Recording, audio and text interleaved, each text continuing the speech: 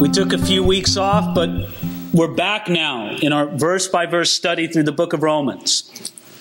And it's always difficult to know what, what pace you should take when you teach through a book. Should you go very slow and look to, to bring out the glory of the fullness of it? You know, in some ways, the, the, the Bible is like a beach, and it's got millions of grains of sand on it. And it's great to look at the whole beach, but you could take one grain of sand and put it under the microscope, and, and there's enough for you to think about on one grain of sand. Well, we're, we're trying to look at a little more of the beach at each individual message. We're going through maybe a, a, bit more rapidly than, than we might otherwise because we want to catch more of the whole flow of the book. And so this morning, we're taking a look at the first 29 verses of Romans chapter 9. It's a big section.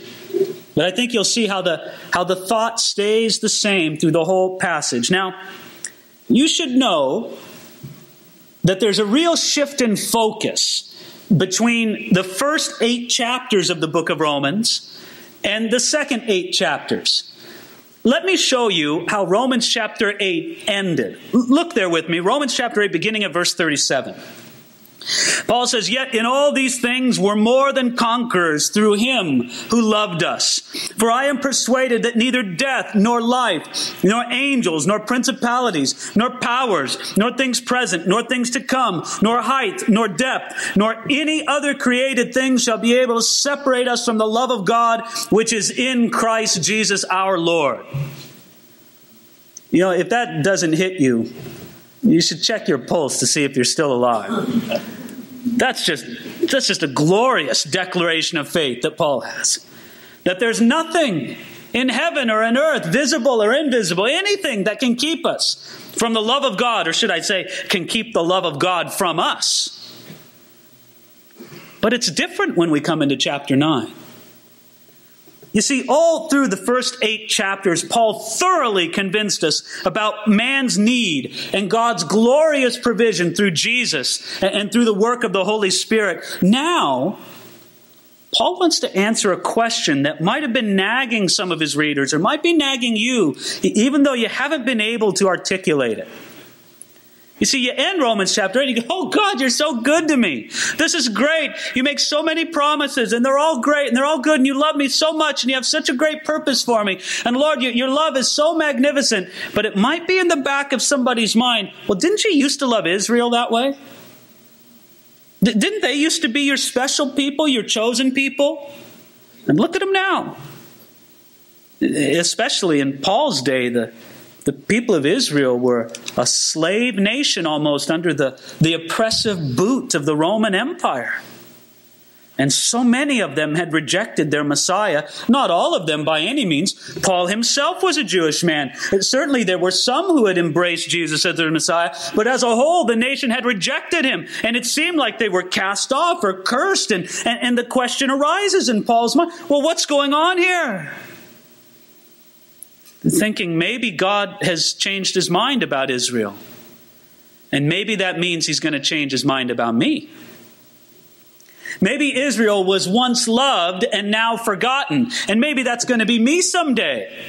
You know, Paul, you, you made all these great promises, but if God didn't do it for Israel in the end, how do I know he's going to do it for me? This is this question Paul's going to discuss over the next three weeks that we take a look in Romans chapters 9, 10, and 11. What about Israel? Does, does God's dealing with them comfort us or discourage us about God's dealings with us? Look at how he begins the chapter, verse 1. I tell the truth in Christ. I am not lying. My conscience also bearing me witness in the Holy Spirit. I have great sorrow and continual grief in my heart. That's a pretty strong statement, isn't it? What a contrast between the end of chapter 8 and the beginning of chapter 9. Well, Paul, what has you so upset? What has you so concerned? What's the source of continual grief in your heart? And Paul tells us now in verse 3 For I could wish that I myself were accursed from Christ for my brethren, my countrymen according to the flesh, who are Israelites, to whom pertain the adoption, the glory, the covenants, the giving of the law, the service of God, and the promises, of whom are the fathers, and from whom, according to the flesh, Christ came, who is over all the eternally blessed God. Amen. Oh, you catch his passion, don't you, there? You see that this wasn't just something in Paul's mind, it was something deep, deep down in his heart. Paul is troubled. And what troubles him? Let me explain to you simply. Paul was troubled about a great thing. It was the salvation of his countrymen, the people of Israel. Paul looked at the people of Israel and he considered all the great privileges that God had bestowed upon them. As he says here, the glory, the covenants, the adoption, the giving of the law, all of that. And he says it's all the more tragic now that, that they're rejecting their Messiah. It's all the more tragic that they seem cursed or perhaps even cast off by God. I want them to come to Jesus. I want them to come into the fullness of what God has for them. Paul was troubled about a great thing. You know, when I, when I think about the things that trouble me, or trouble most of us, they're usually not great things, are they? We're usually stressed out and worried and very much bothered over things that are fairly insignificant. I'll tell you a way to wipe out all of your smaller problems is put your focus on a bigger problem. And that's reaching lost people with the gospel of Jesus Christ. You see, the great passion for souls that Paul had gave him perspective. The, the, lesser things did not trouble him because he was troubled by a great thing. Paul lived a hard life persecution, shipwrecks, famine, great travels, uh, stabbed in the back by his own associates, traveling around everywhere in the midst of great circumstances of difficulty and hardship. Paul lived a hard life. He's not troubled about any of that. He's troubled that the that the people he knows and loves so much don't know Jesus. Charles Spurgeon said this, it puts it in wonderful perspective. He said, Get love for the souls of men and then you will not be whining about a dead dog or a sick cat or the crotchets of a family and the little disturbances that John and Mary may make by their idle talk. You will be delivered from petty worries if you're concerned about the souls of men. Get your soul full of a great grief, and your little griefs will be driven out. You know, Paul was troubled about a great thing, even to the point where he says, I could wish that I myself were accursed. Paul said, Lord, if it would somehow help to send me to hell to bring salvation to, to my countrymen, then Lord, do it. What a great heart Paul had. It's the heart of Jesus. The heart of Jesus who took the curse upon himself that we might be blessed. Now we're going to take a look at verse 6, but before we do, a quick thought at verse 5. Did you notice that there? What Paul says in verse 5? At the very end of the verse, he says, Christ came who is over all the eternally blessed God. Amen. Did you realize that one of the most straightforward, clear, simple phrases that you'll find in the whole New Testament, the Apostle Paul says that Jesus is God, the eternally blessed God. Amen. That's Jesus. Do you grab a hold of that? Some of you may be mistaken about that. In other words, you, you admire Jesus as a great teacher.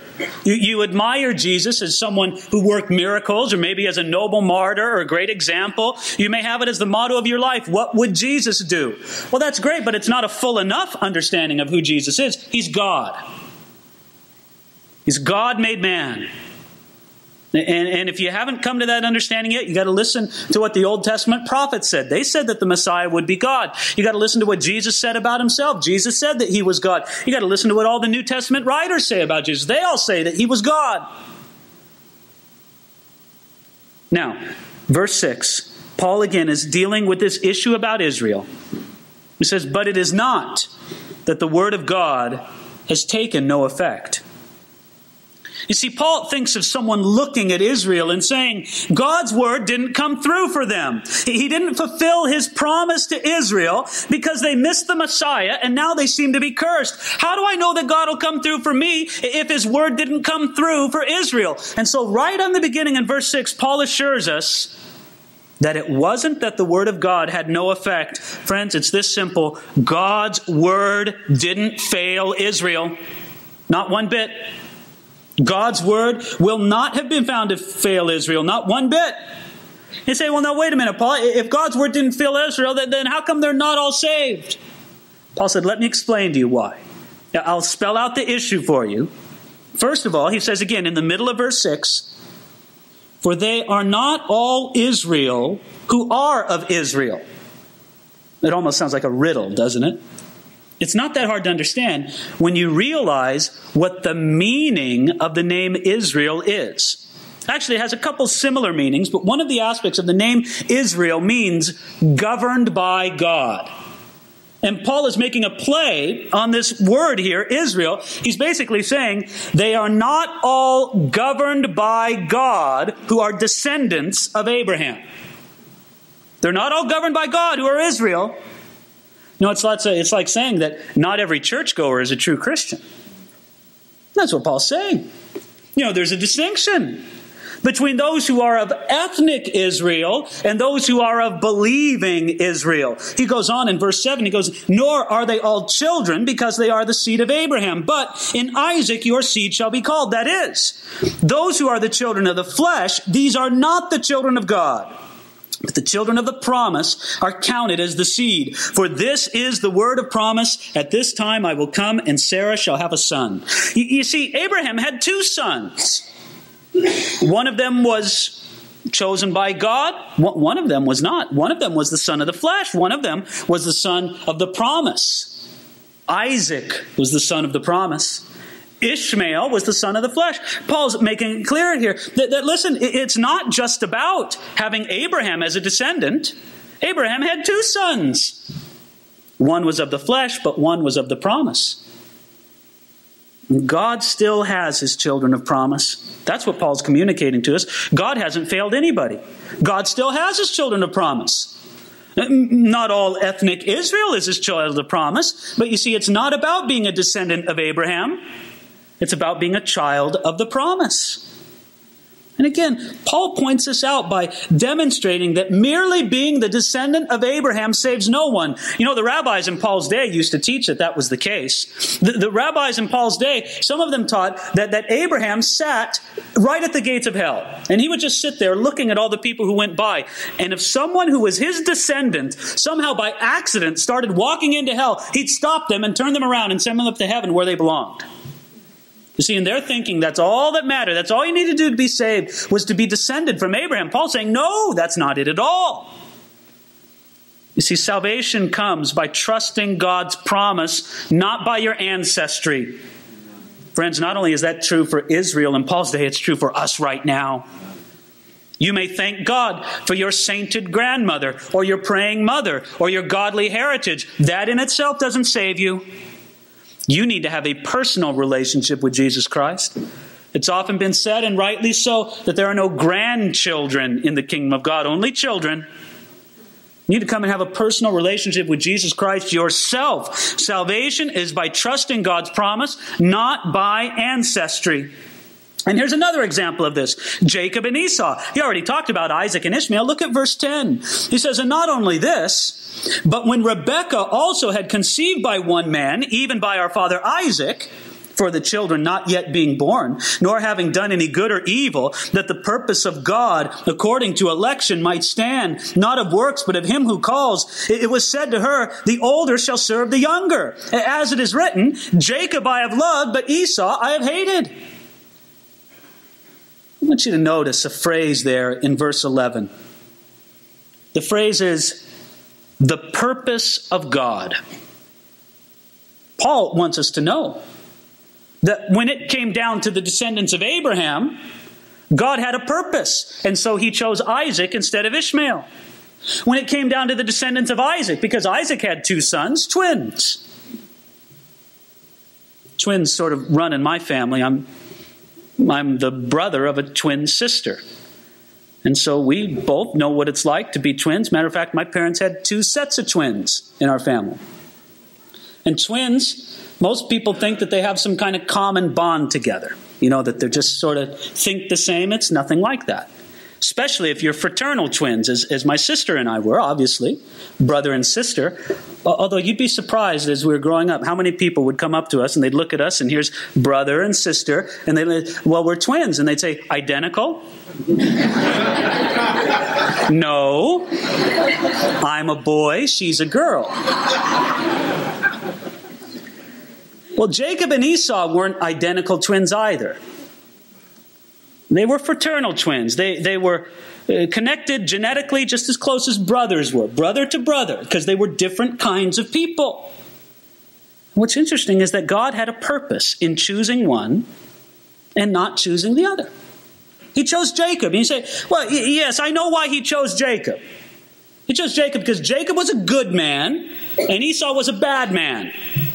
That's a great way to think until you read the Bible. Because when you read the book of Genesis, you'll find something out. They were both bad.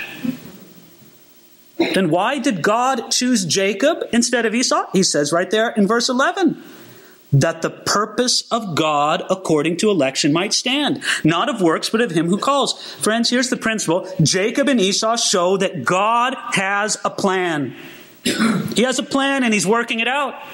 It was in his plan to choose Jacob to be the one to carry on the covenant.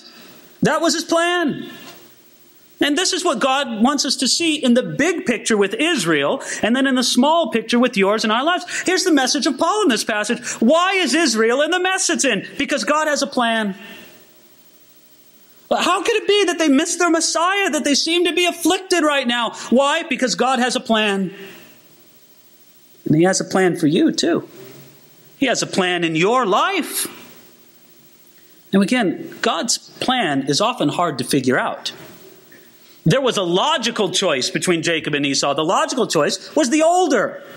You, you, you, always pick the older in that culture. And Esau was older because he was born before Jacob. By the way, with me and my twin sister, she's older than I am. So I'm the little brother in the family. Uh, ten minutes after my sister. Well, with Jacob and Esau, there was an older and a younger. And in that respect, I want you to see that God didn't do the logical thing. God said, I'm going to pick the younger over the older. I'm going to pick him to be the one on top because the older shall serve the younger. And then, if you notice, as it says right there in verse 13, it says, Jacob I have loved, but Esau I have hated. That's a stumbling point for many people. They say, well, that's not fair. It's not fair for God to say, Jacob I've loved and Esau I've hated. There's a story that one time a woman brought, that question, that objection to Charles Spurgeon. And she said, I can't understand why it says here that God hates Esau. I have a real problem with this text. And Spurgeon looked at her and says, Well, you know, I have a real problem with it too.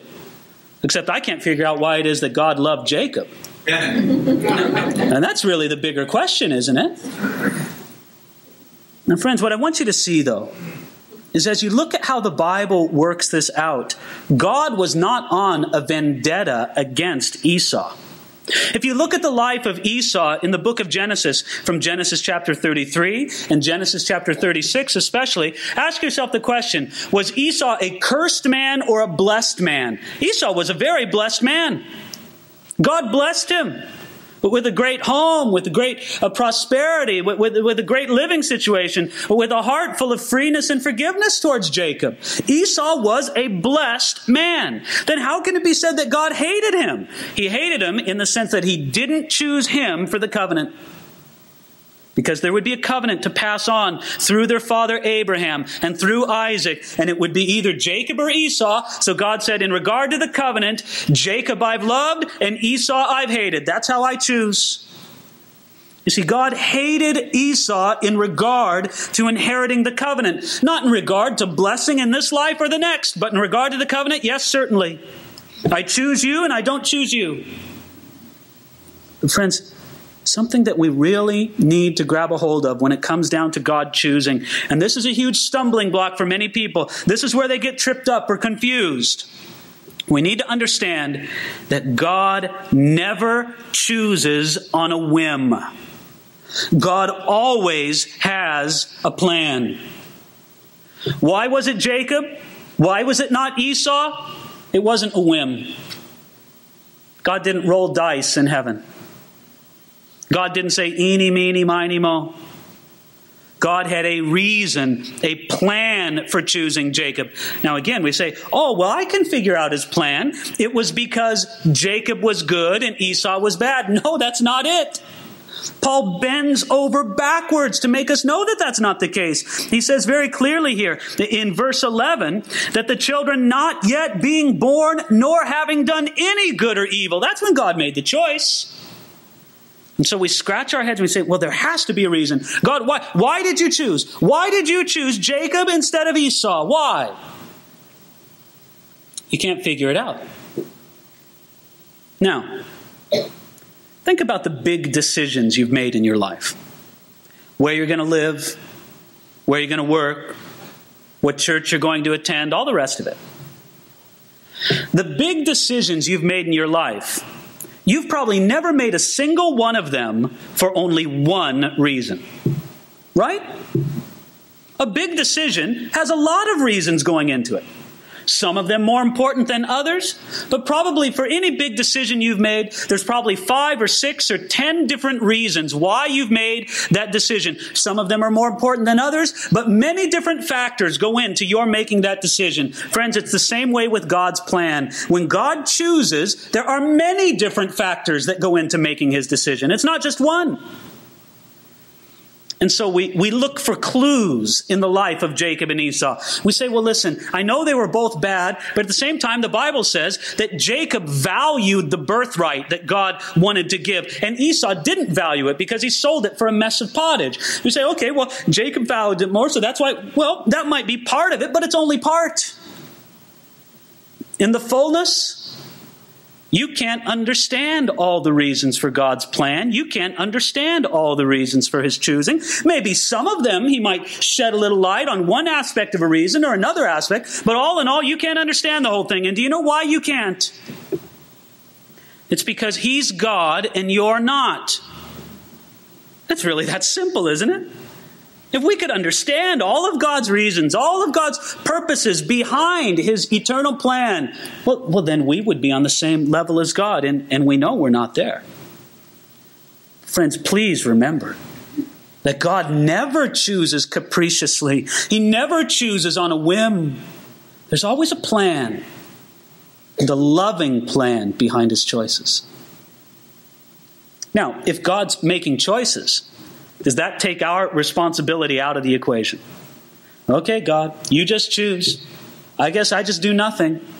You're either going to choose or not choose God, so what, there's no point in us doing anything, I suppose. No, Paul's going to attack this right here, verse 14. What shall we say then? Is there unrighteousness with God? Certainly not. For he says to Moses, I'll have mercy on whomever I will have mercy, and I'll have compassion on whomever I'll have compassion. So then it is not of him who wills, nor of him who runs, but of God who shows mercy.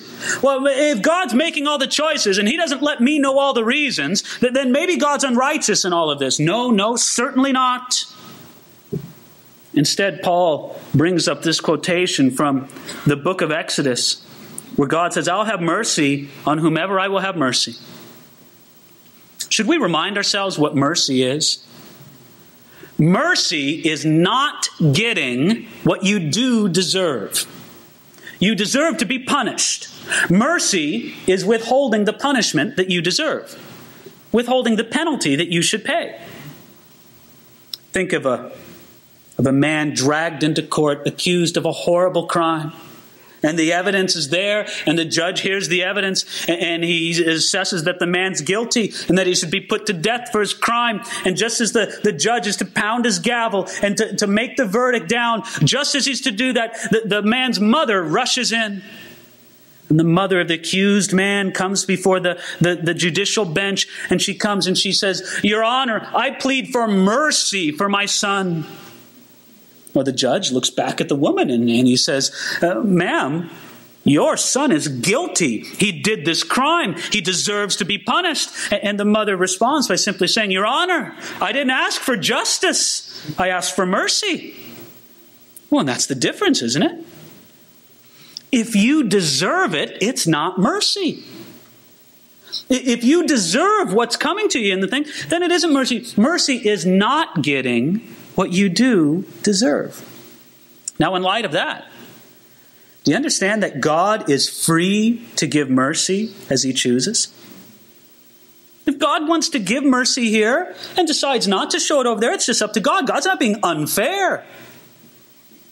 God will never be less than fair with anyone, but he may decide to be more than fair with some as he chooses. Let me put it to you this way Jesus spoke a parable in Matthew chapter 20. In that parable in Matthew chapter 20, it was about a man who went out to hire some day laborers. He went out the very beginning of the day and hired people to come to work at the crack of dawn, 6 o'clock. Then he knows I don't have enough workers. so he goes back at 10 o'clock. And he hires people at 10 o'clock. And he makes the, the, the hiring then. And, and, and all along, he's just telling people, I'll just pay you, what you what's right. Don't worry about it, I'll pay you what's right. So the guys who go to work at 6 o'clock say, Well, I'll get a day's wage for this. The guys at 10 o'clock say, Well, I don't know. Let's hope what he gives us. He still doesn't have enough guys, so he hires people at 1 o'clock. And then finally, he makes one last hiring at 3 o'clock in the afternoon. And then it comes time for payday.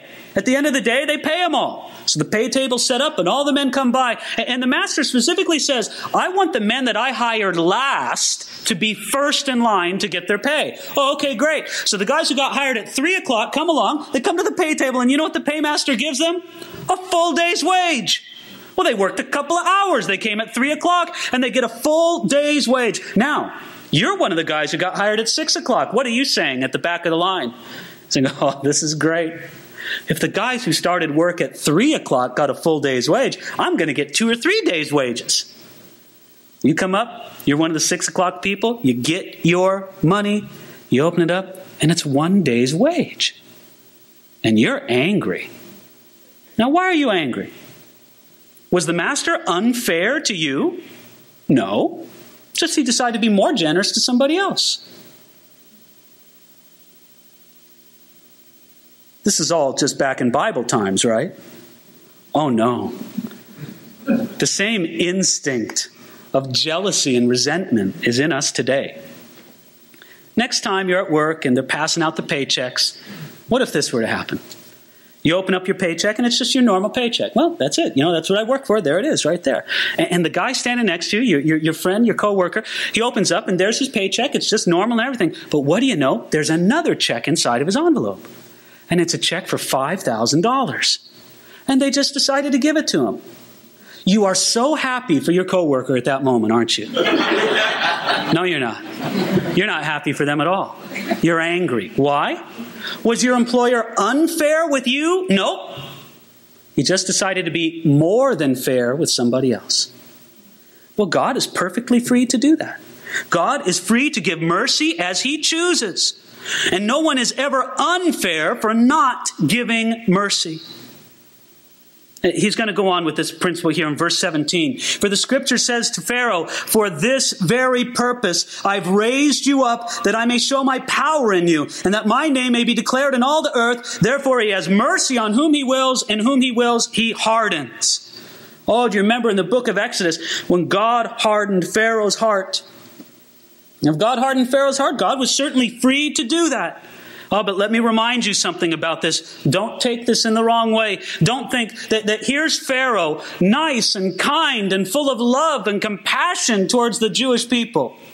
And God came along and took his soft, warm, loving heart and he hardened it. It wasn't like that at all, was it? When God hardened Pharaoh's heart, God gave Pharaoh exactly what he wanted. God said, This is the direction you want to go, then I'll give it to you. Here's the principle that Pharaoh wanted a hard heart, and God gave it to him. And so, if God chooses to do that, he's free to do it. If he chooses to do something else, he's free to do that. Look at how Paul emphasizes this point of God's great sovereignty here in verse 19. He says, You'll say to me then, why does he still find fault? For who has resisted his will? You know, what can I do? How can God hold me accountable? He can do just whatever he wants, anytime he wants to. But if you notice here in verse 20, he says, Indeed, O man, who are you to reply against God? Will the thing formed say to him who formed it, Why have you made me like this? Does not the potter have power over the clay from the same lump to make one vessel for honor and another for dishonor? You see, in verse 19, man is trying to evade his responsibility. Well, you know, if God's in control, if He has His old plan, if God's all master over everything, then nothing I need to do. He can't find fault with me. Then on the day of judgment, I'll just stand before God and say, Well, it's just how you wanted it, God. There's your plan. I guess I don't have any responsibility. And Paul says, No, no, no. You see, friends, God's plan never takes away our responsibility. Paul says that it's disrespectful to even ask this question. He says, Who are you to reply against God? He's the potter, you're the clay. And if the potter says, I can shape the vessel any way I want, and you're still responsible, then you say, Okay. You see, sometimes we want to go to either end of the extreme. God is sovereign and has his plan and does everything. Therefore, I have no responsibility, and God, you just do whatever you want. That's one end of the extreme. The other end of the extreme is, well, you know, I'm in charge, and God, well, he's just a passive spectator, and I just do whatever I want. And that, and God says no to that as well. The answer is simply this is that God is sovereign, He has a plan, and He looks to you and He says, You have a responsibility to respond to my plan, to work in cooperation with it. Well, but God, I, don't understand. I understand how, how your sovereignty and my responsibility work together. I, I don't get all of that, God. How, how does it all work? And God says, I never called you to understand it. I just called you to, to believe it, to live it. I'm the potter, you're the clay.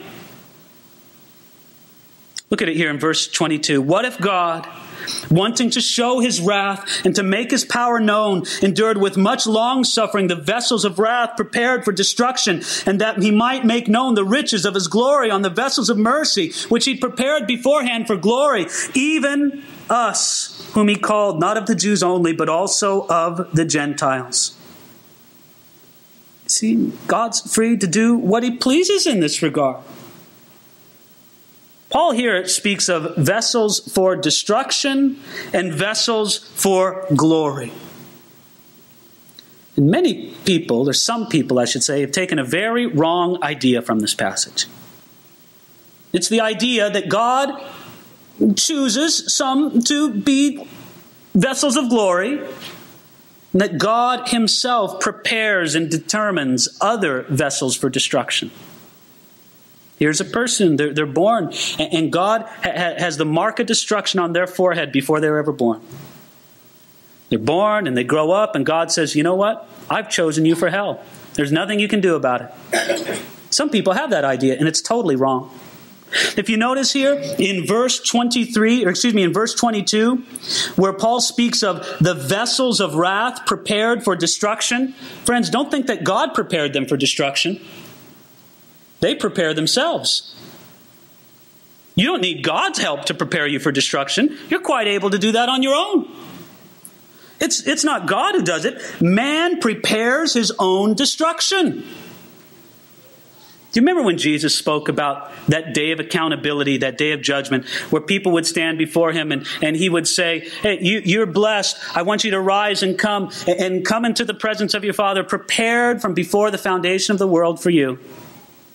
You see, God, God has prepared that for, for those who go to heaven. But I want you to notice what he said to those who, who will go to eternal separation. He says, Go and go into the place, the lake of fire, prepared for the devil and his angels.